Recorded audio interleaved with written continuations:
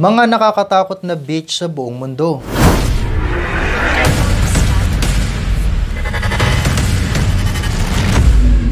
Cape Tribulation, Australia. Matatagpuan sa Northern Queensland, Australia, ang pangalan pa lang ng beach na ito ay nagsisilbi ng babala para sa mga manlalakbay. Ang lugar ay pinamumugaran ng mga buwaya, jellyfish, makamandag na ahas at kasuwaris na may ituring na isa sa pinaka nakakatakot na ibon sa mundo. May ahilin tulad din sila sa mga emu, mga uri ng ibon na hindi nakakalipad. Ang mga kasuwaris ay malalaki at kayang tumimbang hanggang 160 pounds. Kapag na-provoke ang mga ibon na ito ay lubhang nagiging agresibo at maaaring magdulot ng malalang pinsala. Hana kapay Papaya Beach, Hawaii. Matatagpuan sa napakagandang Napali Coast ng Kauai at maaari lamang puntahan sa pamamagitan ng Kalalaw Trail. Ang Hanakapay Beach ay mapanganib na lugar para languyin dahil sa naglalakihan at mababagsik na alon nito na kayang tangayin ng sinuman. Kung may manlalangoy man na matangay ng alon nito, ang pinakamalapit na dalampasigan na maaaring puntahan ay 6 na milya pa ang layo.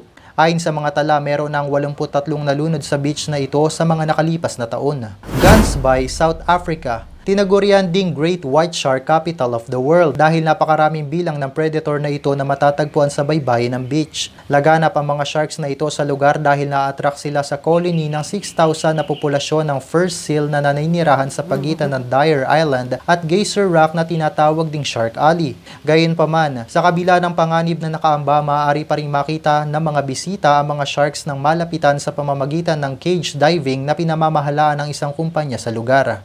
Chowpatty Beach, Mumbai. Ang beach na ito sa Mumbai ay tinuturing na isa sa pinaka-polluted beaches sa buong mundo. Kaya naman hindi talaga pwedeng languyin ang beach na ito. Ang dalampasigan ng beach ay puno ng basura, piraso ng mga lumubog na barko, at ang tubig ay puno ng mga dumi mula sa lungsod ng Mumbai. Nagumpisang mapulyot ang beach na ito noong 2011 kung kailan lumubog ang MV Rock at tumagas ang 60,000 metric tons ng coal mula dito. Ang paglalangoy sa lugar na ito ay maaaring magdulot ng mga sakit kagaya ng sore throat o diarrhea at mas malala para sa mga matanda, bata o kaya naman ay mga taong may mahinang immune system. Black Sand Beaches of Kilauea, Hawaii matatagpuan sa Volcanoes National Park at maaaring magandang pagmasda ng black sand sa beach subalit lubaha itong mapanganib.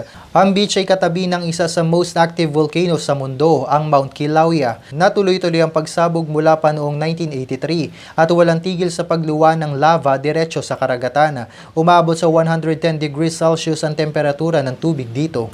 New Smyrna Beach, Florida hindi may pagkakailang maganda ang beach na ito subalit meron itong reputasyon. Dahil sa naitalang 238 na shark attacks, kinilala ang beach na ito bilang Shark Attack Capital of the World. Dahil maraming surfers sa lugar, nabubulabog ang mga sharks sa splashes na ginagawa ng mga surfers upang makahabol sa alon kaya naman basta-basta na lang kumakagat ang mga pating na ito. Fraser Island, Australia. Isa rin ang beach na ito na delikadong languyin dahil ang tubig na nakapalibot sa isla ay nababalot ng maraming pating at jellyfish. Maging sa kalupaan ng lugar ay maaari ring maka-encounter ng mga mapanganib na hayop gaya ng saltwater crocodile, deadly spiders at maging mga dingoes na kilalang umaatake sa mga bata. Playa Zipolite, Mexico Kilala din bilang Playa de los Muertos, hindi na nakakapagtakang ang Playa Zipolite na matatagpuan sa southern coast Oaxaca State sa Mexico ay meron ding reputasyon. Ang magandang tanawin na ito ay sikat sa mga nudist at backpackers, subalit kilala din ito dahil sa mababangis na alon. Noong 1995, nagtatag ng volunteer lifeguard team sa Zipolite upang mabawasan ang bilang ng mga nalulunod sa lugar. Beaches of the Northern Territory, Australia ang mga boxy jellyfish ay isa sa mapanganib at napakamakamandag na jellyfish sa mundo. Lumalaki ang mga ito hanggang 11 inches at may siyam na pong galamay na lumalapad hanggang 6 feet. Matatagpuan ang malaking bilang ng mga jellyfish na ito na kadalasan transparent kapag nasa tubig sa baybayin ng Australia's Northern Territory. Sa tindi ng mga kamandag na mga ito, maaaring makaranas ng cardiac arrest ang sino mang masting nito bago pa man sila makarating sa pangpang. Mas lalong mapanganib kung susubukang tanggalin ang mga galamay nito na dumikit sa balat na na maaring magdulot ng kamatayan sa loob lamang ng limang minuto. Ayon sa mga tala, mayroong pitumpong namatay dahil sa jellyfish sting magmula noong 1883. Beaches of the Amazon, South America Ilan lamang ang mga anaconda, perana at electric eel sa mga nilalang na maaaring sumambulat sa sino mang gustong bumisita sa mapanganib na beaches ng Amazon.